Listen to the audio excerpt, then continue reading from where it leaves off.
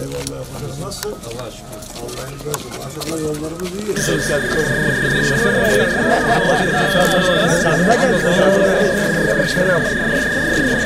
AK Parti yolu Ya AK Parti iktidara geldiği günden bu yana hep hizmet yapıyor.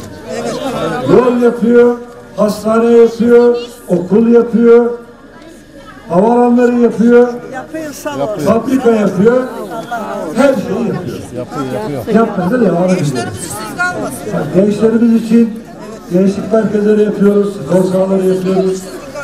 10 sene oyum olsun onun da AK Parti yani. Yeter ki, yeter ki Şimdi bak, televizyonlarda izliyorsunuz. Görüyorsunuz. Ta Amerika'sından, Almanya'sından, İsrail'inden herkes ayağa kalktı. Ne, ne işi kalktılar? Türkiye'yi bölmek, parçalamak, Cumhurbaşkanımızı yıkmak için ayağa kalktılar. Kimse böyle.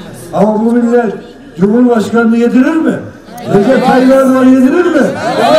Yedirmez. Sizde bu inanç, sizde bu kararlı duruş olduktan sonra Cumhurbaşkanımız yeni düvele karşı başarıya ulaşacaktır. Şimdi İslam coğrafyasında Müslüman iradesini ortadan kaldırmak istiyorlar. Peki bunun yerine hangi iradeyi koymak istiyorlar? İsrail iradesini. Yani Yahudilerin iradesini koymaya çalışıyorlar. Bunların topu tüfeği var da bizim de Allah'ımız Ha, var. imanımız var. Allah'ın izniyle. Ya şimdi o büyük şeytan var ya Amerika. Bir karar aldı. Neydi bu karar?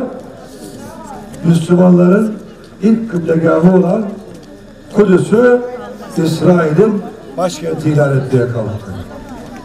Biz buna razı olur muyuz? Asla olmayız. Ne yaptı Cumhurbaşkanımız? Hemen tüm İslam ülkelerinin liderlerini İstanbul'da topladı. Dedi ki ey Müslümanlar ayağa kalkın, uyanın.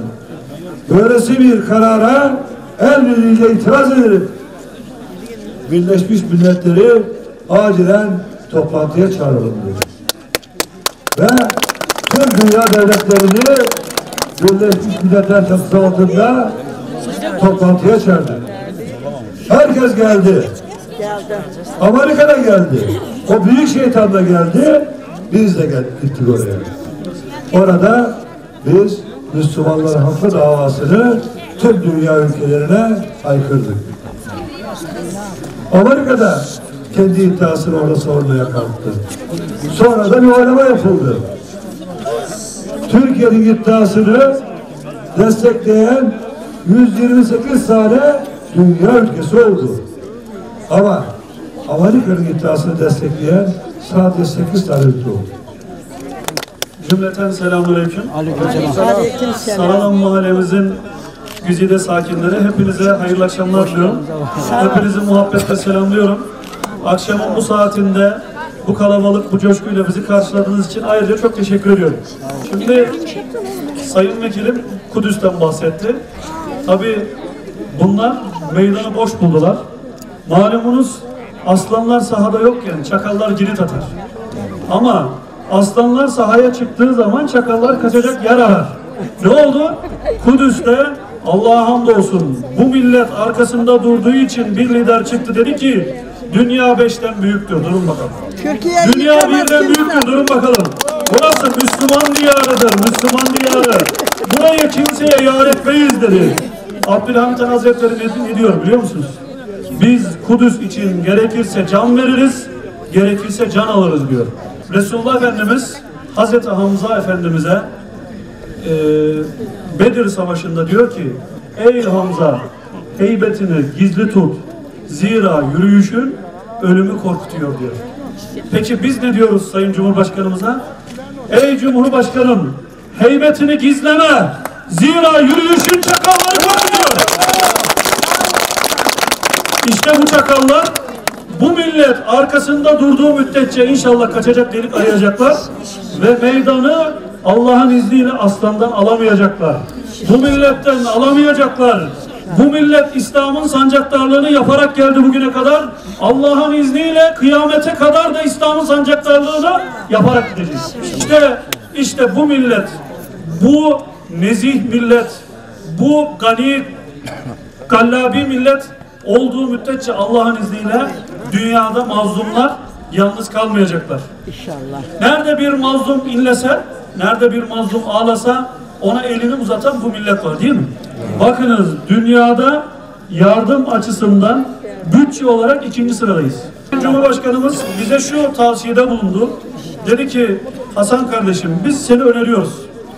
Biz seni e, belirledik başkan adayımız olarak. Senden bir tek şey istiyorum. Milletimizin efendisi değil, hizmetkarı olacaksınız. Milletin içinde olacaksınız ve millete üstten bakmayacaksınız. Üç şey söylüyorum sana. Tevazu, tevazu, tevazu dedi. Biz de Allah'ın izniyle Sayın Cumhurbaşkanımızın emrinde ve arkasında bu milletin hizmetçisi olmak için gecemizi gündüzümüze katarak çalışacağız. İnşallah. Eyvallah, eyvallah. Hepinize akşamın bu saatinde bizi ağırladığınız için çok teşekkür ederim. Şeref duyduk, mutluluk duyduk, saygılar sunuyorum. Hepinize hayırlı akşamlar diliyorum. Karesi İlçe Başkanı Mesut Baytekin. Bu köye daha önce birkaç defa gelmişliğim var. Bu köyde sevdiğim dostlarım var. Bugün de davet edildiler, ettiler. Davete icabet sünnetti deyip buraya geldik. Sayın Vekilim, Sayın Belediye Başkanım çok güzel kitapta bulundular. Ben bir tek şey söyleyeceğim. Belki benim de burada olmamın e, bir amacı gayesi yerine gelmiştir. Birlik beraberlik dediler. Bakın şu anda Kalesi 6 Eylül hep beraberiz, biriz. İnşallah 2019'un Mart'ında ve genel seçiminde de hep beraber yüzümüz gülerse ne mutlu bize. Hepinizi Allah'a emanet ediyorum. Hayırlı akşamlar.